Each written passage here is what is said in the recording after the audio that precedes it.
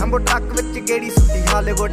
ਜੀ ਦੇਸੀ ਮੁੰਡਿਆਂ ਦੇ ਸੁਣੇ ਬਾਲੀਵੁੱਡ। 뮤직 ਦੀ ਵੇਵਾ ਨਾ ਭਾਲਦੇ ਕੋਫੇ ਵਗਾਉਣਾ ਵੀ ਆਉਂਦਾ ਤੇ ਲਿਰਿਕਸ ਹੈ ਚੰਗੇ ਜਿਹੜੇ ਚੱਲਦੇ ਸੀ, ਕਿਸੇ ਤੋਂ ਨਾ ਠੱਲਦੇ ਸੀ, ਉਹਨਾਂ ਦਾ ਬਣਾਉਂਦੇ ਆ ਕਲਾਉਨ ਮੁੰਡੇ